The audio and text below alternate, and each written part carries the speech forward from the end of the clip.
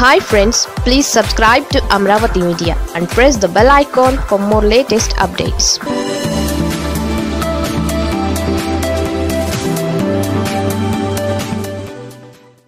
చేసిందంతా చేసి పట్టాభి ఇదో కొత్త డ్రామా.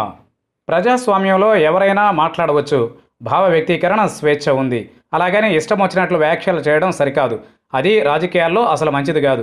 టీడీపీ జాతీయ అధికార ప్రతినిధి పట్టాభి చేసిన వ్యాఖ్యలు సభ్య సమాజం తలదించుకునేలా ఉన్నాయి. అనుభవం వయస్సు పరంగా పట్టాభి ముఖ్యమంత్రిపై చేసిన కామెంట్స్ను అందరూ తప్పు పట్టాల్సిందే. దానిని ఖండించకపోగా తనను చంపేస్తారంటూ పట్టాభి మరో డ్రామా మొదలుపెట్టాడు. ప్రతిపక్షంలో ఉన్నప్పుడు నిర్మాణాత్మకమైన విమర్శలు ఏవైనా చేయవచ్చు.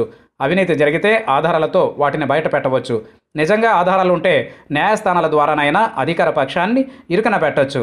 కానీ పట్టాభి గత కొద్ది రోజులుగా డ్రగ్స్ వ్యవహారంపై నిరాధార ఆరోపణలు చేస్తూనే ఉన్నాడు. కేవలం ప్రభుత్వంపై బురద చల్లే కార్యక్రమాన్ని పార్టీ పట్టాభికి అప్పగించినట్లే కనిపిస్తోంది. పని ఉన్నా లేకపోయినా ప్రెస్ మీట్ పెట్టి తిట్టడం పట్టాభికి అలవాటుగా మారింది. ముఖ్యమంత్రిని అనకూడని మాటలు అని చివరకు తనను చంపేయడానికి కుట్రలు చేస్తున్నారని పట్టాభి ఆరోపిస్తున్నాడు. నోరు మంచిదైతే ఊరు మంచిదవుతుందన్న సామెత పట్టాభికి గుర్తుకు లేదేమో అసలు స్థాయిని ఎవరూ మర్చిపోకూడదు. ఉన్నట్లుండి ఎదగాలన్న కాంక్షతోనే ఇలాంటి పట్టాభిలు ప్రతి పార్టీలో ఉంటారు. వారిని రాజకీయ పార్టీలు ముందుగానే గుర్తించి ఏరివేయకపోతే పార్టీలే దానికి మూల్యం చెల్లించుకోవాల్సి ఉంటుంది. పట్టాభి చేసిన వ్యాఖ్యలతో వైసీపీ తమ కార్యాలయాలపై దాడులు చేసిందని తమకు సానుభూతి వస్తుందని టీడీపీ ఆనందపడవచ్చు. ఇది ఒకరోజు ఉండే రచ్చ మాత్రమే.